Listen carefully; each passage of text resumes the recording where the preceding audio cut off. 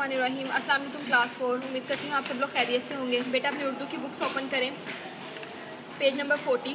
आज हम रीडिंग करेंगे सबक नंबर आठ, हज़रत नू सलाम की कहानी। सब बच्चे अपनी जल्दी से अपनी बुक्स ओपन कर लें, पेज नंबर फोर्टी। हज़रत नू सलाम की कहानी। जैसे आपने जानते होंगे कि इसमें वो थे हज़रत नू सलाम जिन्होंने कश्ती बनाई थी। स्टार्ट करते हैं रीडिंग सब साथ साथ रीडिंग स्टार्ट करें। हज़रत नू सलाम अल्लाह के नबी थे। अल्लाह ताला ने इनको लोगों की हदायत के लिए भेजा। जैसे आपसे लेला जैसे आपसे लेला वसल्लम, मुसलमानों की हदायत के लिए आए थे, इसी तरह से हज़रत नूसम को भी हदायत के लिए भेजा गया था। उन्होंने अपनी कौम को अल्लाह ताला की अजीम और हैरान कन तख्लीक़ात तख्लीक़ात क्या होती हैं? कोई चीज़ बनाना, पैदा करना। आसमान, ज़मीन, चाँद, सितारों और बेशुमार नेमतों की तरफ़ तवज्जो दिलाई और बताया कि शैतान तुम्हें इतने अरसे से गुमराह करता रहा, गुमराह करता रहा, रस्ते से भटकाता रहा। तुम इस गुमराही से बाज आ जाओ मतलब पीछे हट जाओ। अगर तुम लोगों ने मेरी बात ना मानी तो अल्लाह के सख्त अजाब के मुस्तक बन जाओगे मतलब हकदार बन जाओगे अल्लाह के अजाब के। इन लोगों ने हज़रत नू सलाम से कहा कि आप हम जैसे ही एक इंसान हैं, क्योंकि जो जितने भी नबी आए वो सब हम इंसानों की तरह ही आम इंसान थे। आप किस तरह पैगंबर हो सकते हैं? जब उन्होंने देखा कि हज़रत नू सलाम के पैरोकार पैरोकार आप सलाम को मानने वाले। में ज़्यादा तादाद, गुरबा और मसाकिन की है तो उन्होंने आपका मज़ाक उड़ाना शुरू कर दिया। उन्होंने सच्चाई के पैगाम को गरूर और तकबर के साथ मुस्तरद कर दिया, मुस्तरद कर दिया, इनकार कर दिया।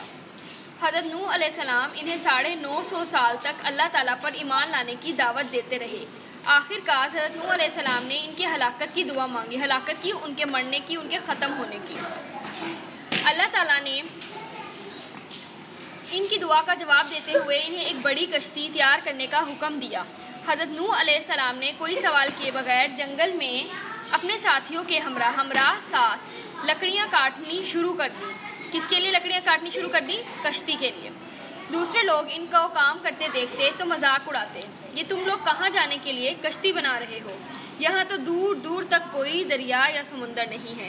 ये कश्ती मिट्टी पे चलाओगे क्या?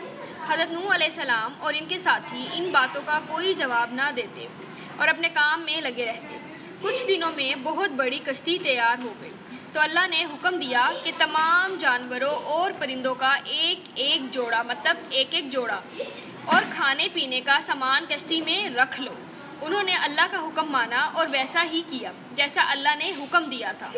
तमाम जानवरों जैसे हिरन, हिरनी। देखे बेटा, हिरन और हिरनी, एक मेल एक फीमेल तो एक जोड़ा बना। गाय और बैल, घोड़ा, घोड़ी वगैरह को कश्ती में सवार किया। फिर हज़रत नू सलाम ने अहले ईमान को कश्ती में सवार होने का हुक्म दिया। जो लोग देख रहे थे, वो मज़ाक उड़ाने लगे।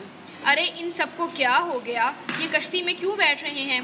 इन लोगों में हज़रत नू सलाम का बेटा भी शामिल था। हज़रत नू सलाम ने इसे पहले भी समझाया था, लेकिन वो ना माना।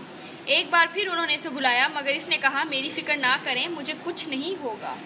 देखें, आखिर अजाब का मुकर्रा दिन आ पहुँचा। आसमान से ज़बरदस्त बारिशों का सिलसिला शुरू हो गया, और ज़मीन से भी पानी के फवारे फूट पड़े। लोग अपनी जान बचाने के लिए इधर उधर भागने लगे कुछ दरख्तों पर चढ़ गए और कुछ मकानों की छतों पर। लेकिन इतना पानी हो गया कि दरख्त भी डूब गए और मकान भी। यहाँ तक कि जिस पहाड़ पर हज़रत नू सलाम का बेटा अपनी जान बचाने के लिए चढ़ा था, वो भी डूब गया।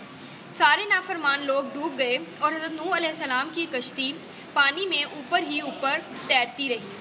बहुत दिनों बाद बारिश रुकी, सूरज निकला। कश्ती में सवार लोग सूरज को इतने दिन बाद देखकर बहुत खुश हुए। पानी कम होने लगा और इनकी कश्ती एक पहाड़ के साथ जा लगी, जिसका नाम जूदी है। लोग कश्ती से उतरे और अल्लाह का शुक्र अदा किया। ये देखिए बेटा, ये तस्वीर जूदी पहाड़ की है, जिस पर नू सलाम की कश्ती आकर ठहर गई। आपने अच्छे से रीडिंग करनी है डिफ़िकल्ट वर्ड्स के मीनिंग्स को अच्छे से लर्न करना है। ओके अल्लाह हाफ़